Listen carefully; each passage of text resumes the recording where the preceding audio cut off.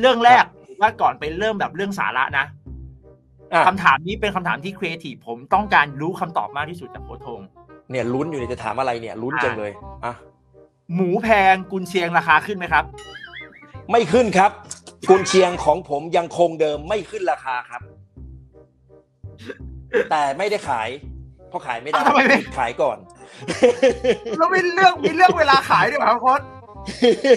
พูดเล่นไม่ขึ้นครับ เรายังคงราคาเดิมครับ เพื่อที่จะให้สมาชิกให้แฟนคลับโคชทงได้กินของดีราคาเดิมครับ ไม่ขึ้นครับอ๋ออ๋ออ๋ออ๋อโอเคครับโอเคโอเคครับฝากชาวตูดูบอลไทยนะ ลองคิดครันะบดูบอลไปด้วยนะ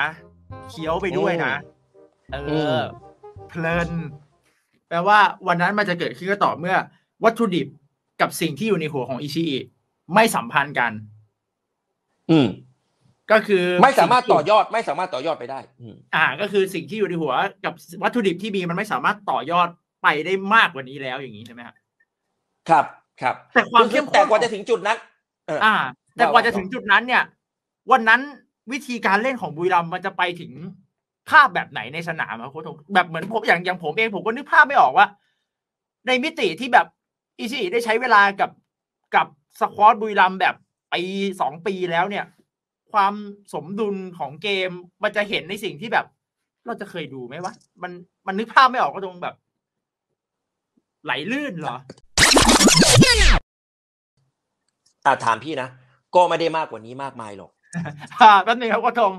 ตอนนี้ป้าต่ายเข้ามาคอมเมนต์ในช่อง YouTube ครับอ่าสวัสดีครับป้าต่ายครับสวัสดีครับสวัสดีครับฝกป้าต่ายครับดูแลผมด้วย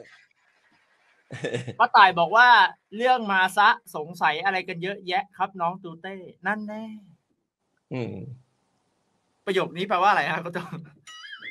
ไม่รู้สิ เราก็ชมอยู่ไม่ใช่เหรอ ชมอยู่ชมอยู่อะป้าต่ายอาจจะหมายถึงว่า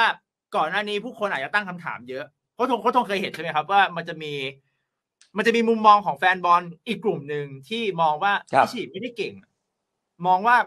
สิ่งที่เขาทำกับปาการก็ไม่ได้แชมป์นี่อืม แล้วก็ก็ยังไม่ได้พิสูจน์อะไรตัวเองนี่ ว่าว่าทำให้อืมทีมแบบได้โทฟี่หรือนู่นนี่นั่นอะไรอย่างเงี้ยอืมเขาทงมองไงกับมุมนี้อะว่าว่าเขายังไม่ได้พิสูจน์อะไร คือไม่ได้ไม่ได้พิสูจน์พิสูจน์แล้ว เพราะพี่พูดเสมอว่าสิ่งที่แสดงในสนามน่ะ มันมาจากภูมิปัญญาและความสามารถของโค้ชเสมออืมสิ่งที่สิ่งที่อิจิอิใช้กับเด็กบุรีรัมย์ในสามสี่เกมที่ผ่านมา มันเป็น มันเป็นรูปแบบที่สามารถคาดเดาได้ มันเป็นรูปแบบที่สามารถมองออกแล้วว่า มันจะต้องเป็นแบบนี้หนึ่งสองสามสี่คือเขาเขาสามารถเขาสามารถเอาสิ่งที่เขาต้องการอะไปให้เด็กใช้ได้จริงในสนาม ซึ่งอืมพี่กำลังจะบอกว่า โค้ชจะเก่งขนาดไหนพี่ไม่รู้หรอก บางคนเนี่ยเก่งระดับโลก บางคนเนี่ยโอ้โหสมองปัญญาในระดับ super pro แต่ไอ้โค้ชที่เก่งคนนั้นน่ะ คุณจะสามารถเอาความรู้ที่คุณมีเนี่ย ไปถ่ายทอดให้เด็กใช้จริงในสนามได้หรือเปล่าอืมได้หรือเปล่า อิชิอิทำได้ เพราะอืมเพราะอิชิอิทำได้แบบนี้ พี่เห็นเลยว่า step step ที่เล่นมันเป็น step ที่มันมาจากการฝึกซ้อมเท่านั้นอืมมันไม่ได้มาจากการบอกกล่าวอย่างเดียว มันมาจากการฝึกซ้อม บางครั้งบางครั้งเนี่ย โค้ชบางคนเก่ง พูดให้เด็กรู้ได้ พูดให้เด็กรู้ว่า เออมันจะต้องเล่นแบบนี้นะ เอาวิดีโอให้ดู ขึ้นกระดานให้ดู เอ้ยทำแบบนี้นะ มันจะชนะ เด็กถามเด็กเด็กรู้ไหมเด็กก็บอกว่า อ๋อ ครับรู้ เด็กรู้ตอบได้หมด แต่มันทำไม่ได้อืมทำไมมันทำไม่ได้ เพราะว่ามันยังไม่ไปสู่การกระบวนการ coaching process หรือสอนจริงในสนามเพื่อให้เด็กนำไปใช้ได้จริงอืมอืมอืมอิชิอิสิ่งที่อิชิอิทำเนี่ย มันแสดงให้เห็นว่าอิชิอิพี่ไม่เคยเห็นอิชิอิคุมการฝึกซ้อม แต่พี่กำลังจะบอกว่าอิชิอิต้องมีความสามารถ ในเรื่องของการ coaching หรือกระบวนการ coaching process ซึ่งไอ้ตรงเนี้ยมาโค้ชในในในในโลกเนี้ย มันมีอยู่ไม่กี่คนหรอกที่ทำแบบนี้ ได้แล้วประสบความสำเร็จ เอ๊ะกำลังจะพูดไงต่อแปลว่ามันเป็นคือแปลว่ามันเป็นเหมือน มันเป็นเหมือนเขาเรียกว่าอะไรอะ มันเป็นอะไรบางอย่างที่ติดตัวของอิชิที่ทำให้ผลงานออกมาตามที่เขาต้องการได้อย่างนี้ไหม คือโค้ชบางคนอาจจะทำไม่ได้มันมันอาจจะเป็นแบบ gift บางอย่างอย่างนี้เหรอเขาตรงไม่ได้ gift หรอกอา gift ก็ได้ หรือเอาแบบนี้ด้วยกันคือ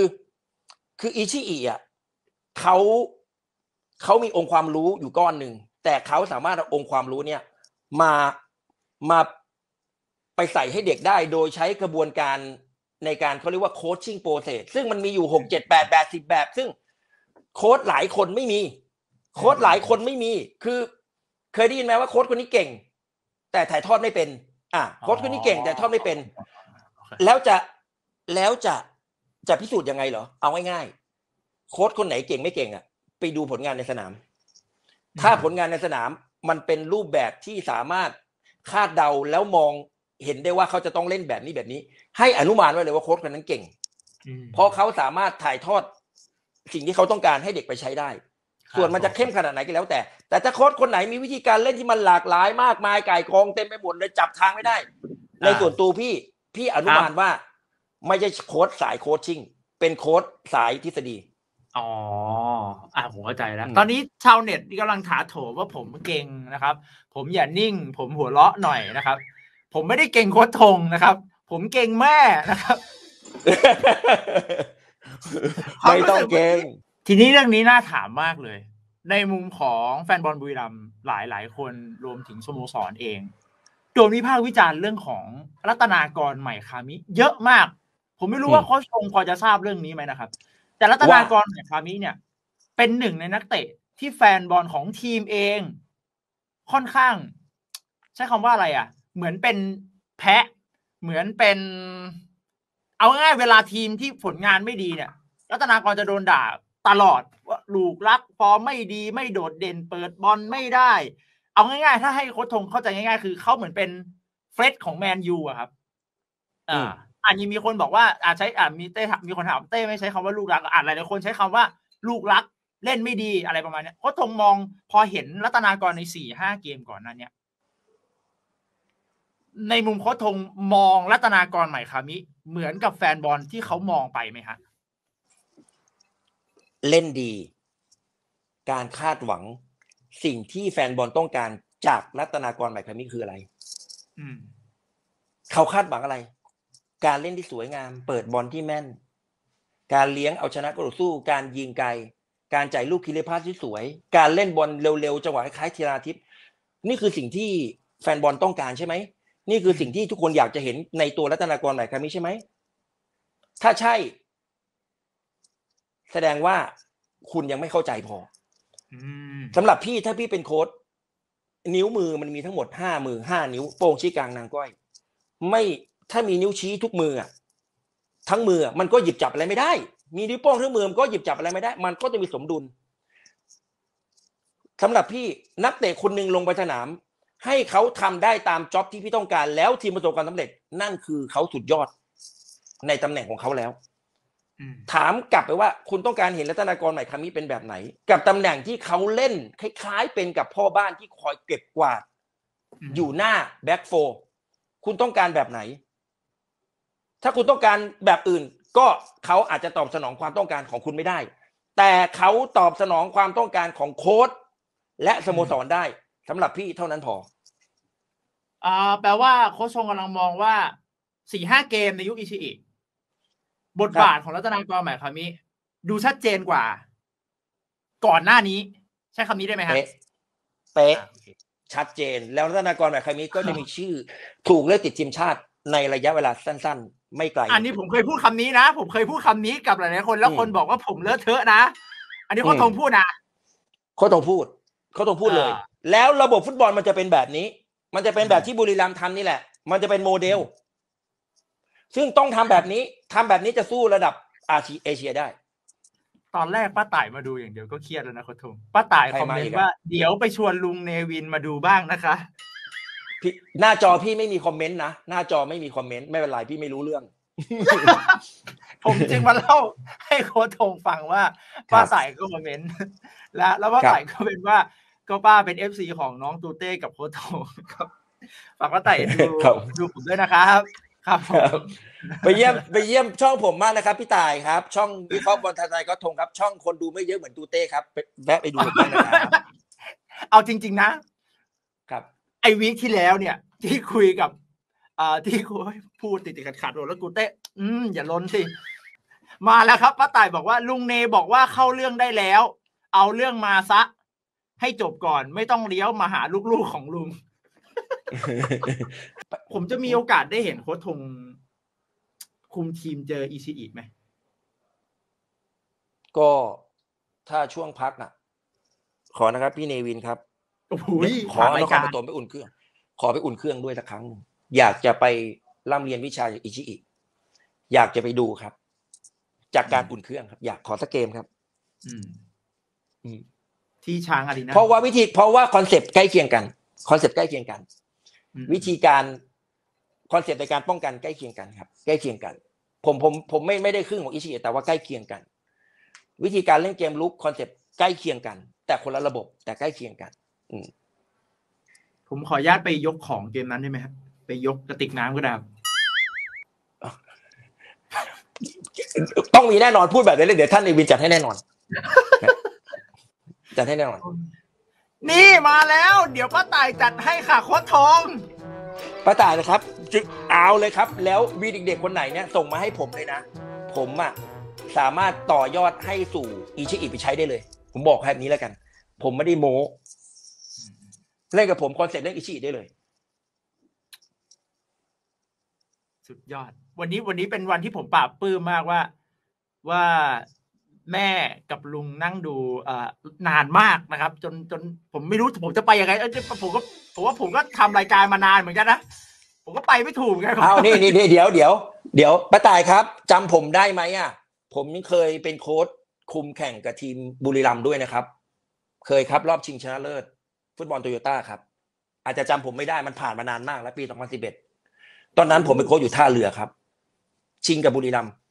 ปีนั้นที่หนามสุบครับ ผมแพ้ไป2-0อู้อืมในเมื่อในเมื่อถ้าอวยกันมาเยอะคำถามนี้ก็น่าสน ถ้ามันจะเป็นคำถามท้ายๆก่อนที่เดี๋ยวเราจะพรีวิวเจอเมืองทองนิดนิดๆนิดหน่อยเพราะว่าเดี๋ยวเสาร์นี้จะมีเจอเมืองทอง ในเมื่อเราพูดถึงข้อดีมาเยอะมาก ณวันนี้โค้ชทงเห็นจุดอ่อนของมาซาชดะอีชิอิไหมครับ ขออนุญาตไม่บอกได้ไหมอะอ่าได้ ป้าต่ายคอมเมนต์มาครับก็จะบอกว่า บอกเถอะค่ะ เอ้าแต่ถ้าเรามองกันในแง่ดีนะโค้ชทงครับ คือการสะท้อนบางอย่างที่โค้ชทงเห็น และทำให้บุรีรัมย์ปิดจุดอ่อนนั้นครับได้นะ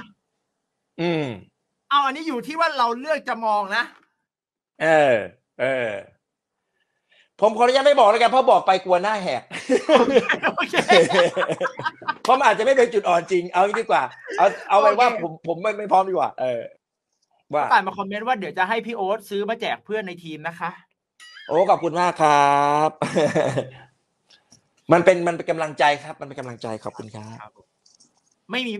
ไม่ไม่ต้องกลัวเรื่องราคาขึ้นครับป้าต่าย เพราะว่าเอ่อโค้ชทงพูดตอนต้นแล้วว่าใช่ราใช่คาไม่แป้งขึ้นราคาแป้งไม่ได้ขึ้นขึ้นแค่ราคาหมู ไม่ใช่ไม่ผสมแป้งเลยกูเชียร์ก็โทรไม่ผสมแป้งถ้าจะอะเดี๋ยวเดี๋ยวเดี๋ยวเดี๋ยวเดี๋ยวเขาฝากขอฝากเรื่องนี้ไหมได้ได้ได้กระต่ายครับ ถ้าโจนัสไม่ใช้อะ ขอยืมใช้อีกสักปีได้ไหมอะตอนนี้ผมมีอุ้ยปัญหามากเลยอะผมมีปัญหามากเลย ผมมีปัญหามากเลย ผมอยากจะได้ประตูอีกสักตัวนพพลละครพล เก่งมากเด็กคนนี้ เด็กคนนี้บอกเลยว่า รักเหมือนลูกอืมเพราะมันรุ่นเดียวกับลูก ลูกลูกพี่ แอนฟิลด์เล่นประตูเหมือนกัน เขาสนิทกัน เกิดประสองพันร้อยสี่สามแล้วเป็นประตูที่ที่ตอบสนองความต้องการของพี่ได้หมดเลยอะ อืม คุณป้าต่ายบอกว่า เดี๋ยวต้องถามโค้ชโซลันครับ อืม ถ้าไม่ใช้ให้น้องมาใช้กับผม ผมว่าน้องติดทีมชาติได้ สบายสบาย เพราะว่าแฟนบอลหลาย ๆ คนก็พูดนะว่า อยากให้เขาได้ลงต่อเนื่องโอ้โหปีที่แล้วมันเก่งมากอะ มันเก่งมากนพพลอะเก่งมากอะ ขอเชิญป้าต่ายมาตูทอล์กสิอืมขนาดป้าต่ายมาคอมเมนต์กูยังเสียทรงขนาดนี้เลยทุกคนอืมถ้าสัมภาษณ์แกกูจะเสียทรงขนาดไหนแล้วทุกคนอ้าวไปแล้วครับ ขอบคุณครับทุกคนครับ แล้วเจอกัน EP หน้าสำหรับวันนี้ลาไปก่อนนะครับ สวัสดีครับ สวัสดีครับ